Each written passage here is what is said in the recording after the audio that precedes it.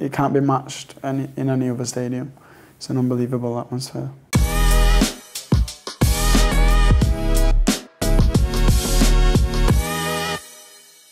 What runs through your mind when the team exits the tunnel? It's always good when you when you go outside the tun tunnel to the pitch, especially at Old Trafford when you hear the, uh, our fans.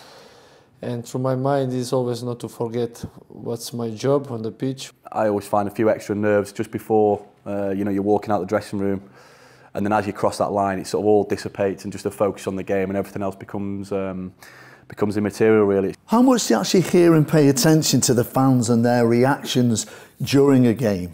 Old Trafford's got that many, that many people in it. It all just sounds like one one sound. Um, it can't be matched any, in any other stadium. It's an unbelievable atmosphere. When you play at home, uh, when you hear that support of of, uh, of your crowd is is different. Then uh, brings you more more energy, more motivation. So it depends really how that momentum's looking as how you how you use it as a player. It can be that it can be that 12th man. It's, it's what you need. It's often hear about the Stretford end sucking that ball in, but I think on the other side of it, if it's a if it's a tense spell and the other team are, are maybe penning us in a little bit. You know, it's about staying calm in those moments and, and, and being aware of it uh, and making sure that everyone's doing the job, you know, boxing on the back foot and, and, and, and making sure you keep the ball out of the net.